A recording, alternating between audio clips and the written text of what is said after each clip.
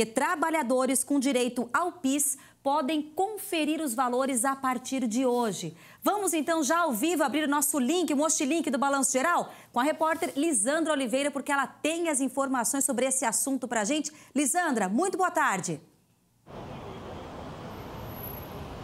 Boa tarde, Sabrina. Boa tarde a todos. Realmente um dinheirinho extra, quem é que não quer, hein?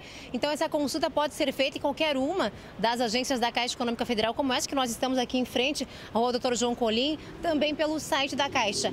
Basta ter em mãos aí o número de CPF e também do NIS, número de inscrição social e ainda a data de nascimento. Tem direito a esse benefício as pessoas que trabalharam em empresa privada ou ainda quem foi servidor público. Atenção, aí nos períodos de 1971 e 4 de outubro de 1988.